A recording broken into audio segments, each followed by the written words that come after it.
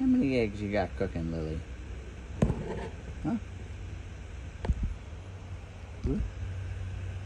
How many eggs do you have cooking inside of you?